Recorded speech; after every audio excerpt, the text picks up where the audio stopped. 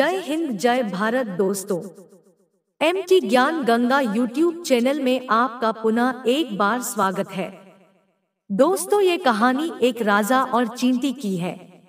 एक समय की बात है, किसी राज्य में धर्मचंद नाम का एक राजा रहता था। एक बार पड़ोसी राज्य के राजा ने धर्मचंद के राज्य पर आक्रमण कर दिया, जिसमें राजा को बुरी तरह हार का सामना करना पड़ा।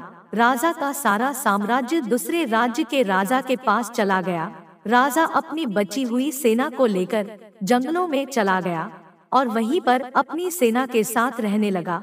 राजा अपने साम्राज्य को पाने के लिए अपनी सेना को तैयार करने लगा और कुछ समय बाद राजा ने दूसरे राजा पर हमला कर दिया। पर राजा को एक बार फिर हार का मुँह देखना पड़ा। राजा ने एक के बाद एक कई आक्रमण किए पर वह सफल नहीं हो सका। राजा पूरी तरह निराश हो चुका था। राजा यह मान बैठा था कि उसे उसका साम्राज्य वापस कभी नहीं मिलेगा। एक दिन राजा एक पेड़ के नीचे बैठा आराम कर रहा था। पास ही दूसरे पेड़ पर राजा ने एक चींटी को देखा जो अपने से पचास गुना अधिक भार लिए पेड़ पर चढ़ रही थी। राजा ने देखा चींटी जैसे ही बाकी चींटियों के झुंड के पास आती वो गिर पड़ती। चींटी बार बार पेड़ पर चढ़ने का प्रयास करती पर वो सफल नहीं हो पा रही थी। अंत में वह पेड़ पर चढ़ने में कामयाब हो ही गई और बाकी चींटियों के समूह तक जा पहुँची। राजा बड़ी ही एकाग्रता के साथ यह सब देख रहा था।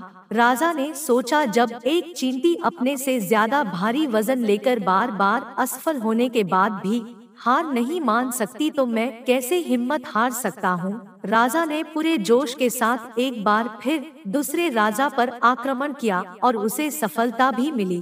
राजा को उसका खोया हुआ सम्मान और साम्राज्य मिल चुका था। मित्रों, हम भी कभी कभी ऐसा ही करते हैं। जब हमें किसी काम में एक या दो बार के प्रयास से सफलता नहीं मिलती है तो हम हिम्मत हार बैठते हैं और पूरी तरह निराश हो जाते हैं। जबकि सफलता हमसे थोड़ी ही दूर होती है। मित्रों आपका एक और प्रयास आपको सफलता तक पहुँचा सकता है। एम टी ज्ञान गंगा यूट्यूब चैनल